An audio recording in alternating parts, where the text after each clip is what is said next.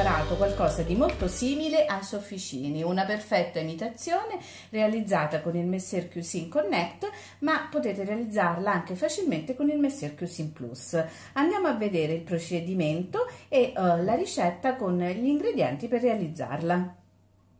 Gli ingredienti che ci occorrono per preparare i nostri sofficini sono 250 g di latte, un cucchiaio di burro, un pizzico abbondante di sale, 250 g di farina. La prima cosa che facciamo è aprire il nostro boccale e mettere all'interno il latte, il burro e il sale.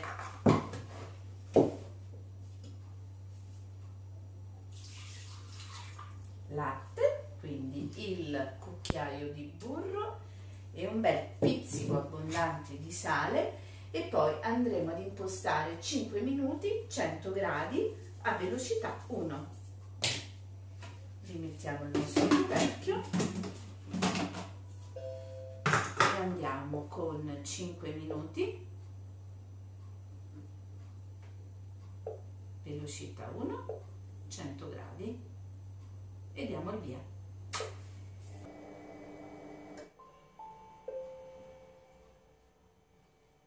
nel momento in cui il nostro latte è arrivato a 100 gradi andiamo a mettere all'interno del boccale la farina.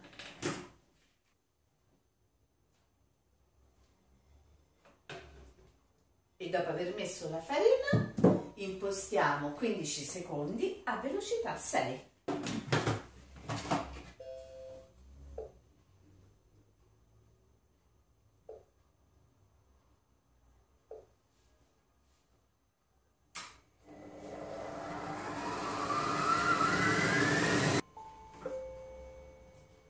risultato è un impasto che andremo a mettere in una ciotola e a far freddare formando una palla. Quindi prendiamo il boccale un po' con le mani, un po' con la spatola andiamo a mettere il contenuto nella nostra ciotola.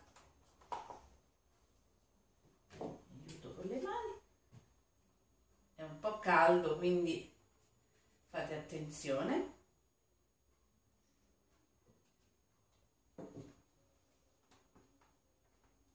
la spatola lo stacco dalle pareti eh? perché vedete è morbido e abbastanza appiccicoso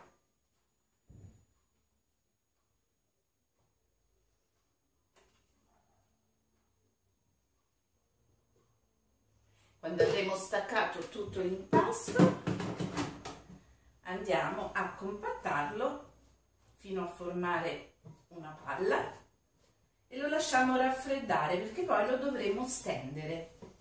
La nostra palla è formata, la lasciamo qui nella ciotola raffreddarsi.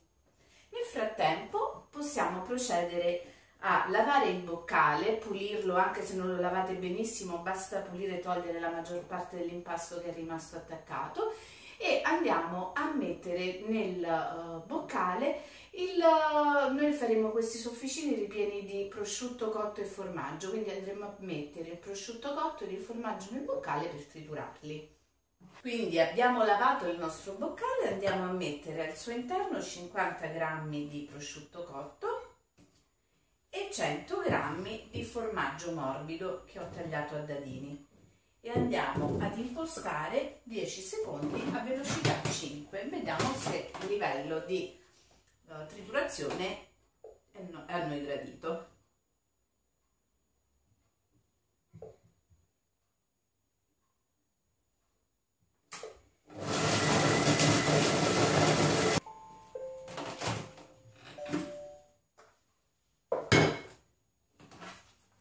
a mio avviso è perfetto per riempire i nostri sofficini quindi lo togliamo dal boccale lo mettiamo anche questo in una ciotola e procediamo con la stesura dei nostri sofficini. Vi farò vedere come. Ho messo la mia palla di impasto su un piano di legno e uh, mi sono aiutata con della farina per non farla attaccare sul piano e adesso con un mattarello andrò a stenderla nella maniera più sottile possibile.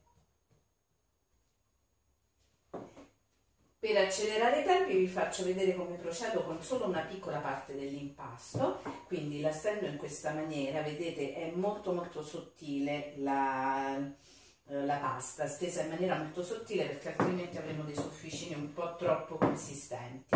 Poi vado a prendere un coppa pasta e vado a ritagliare dei cerchi su questa pasta stesa. Quindi vi dicevo con il coppa pasta vado a formare il cerchio che mi occorre per fare il mio sofficino, la pasta poi la tolgo e la rimpasto successivamente insieme all'altra e su questo sofficino, su questo cerchio scusate, vado a disporre il mio ripieno. Noi abbiamo detto abbiamo fatto prosciutto e formaggio, ma voi potete fare prosciutto e sottiletta, prosciutto e mozzarella o anche semplicemente mozzarella e pomodoro. Quindi vado a mettere una parte dell'impasto quasi al centro del sofficino, non ne mettete troppo perché altrimenti può esplodere in cottura. Lo vado a richiudere così, a semicerchio, sigillo bene i bordi con le dita, in modo che il ripieno non fuoriesca, e dopodiché con una forchetta do anche un'ulteriore sigillatura che dà anche un motivo carino al bordo del nostro sofficino. Il nostro primo sofficino è pronto, quando saranno tutti pronti li passeremo nella uovo e successivamente nel pan grattato e li andremo a friggere oppure a cuocere in forno.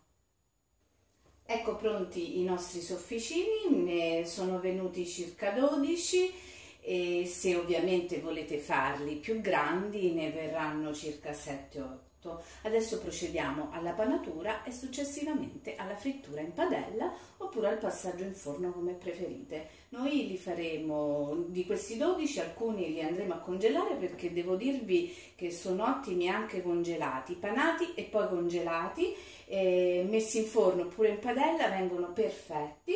Eh, alcuni come vi ho detto li congeleremo, altri li andremo a friggere. Ecco i, nostri, ecco i nostri sofficini in frittura, ho usato due tipi di panature diverse di cui vi parlerò dopo a fine cottura, adesso li vado a togliere dalla padella e li vado a mettere su un piatto coperto di carta assorbente. Ecco pronti i nostri sofficini, adesso andiamo a vedere com'è l'interno. Sono fritti benissimo, uno, uh, per uno ho utilizzato un semplice pan grattato, per l'altro ho utilizzato un pan grattato a grana più grossa eh, indicato per fritture. Vi faccio vedere l'interno con una forchetta.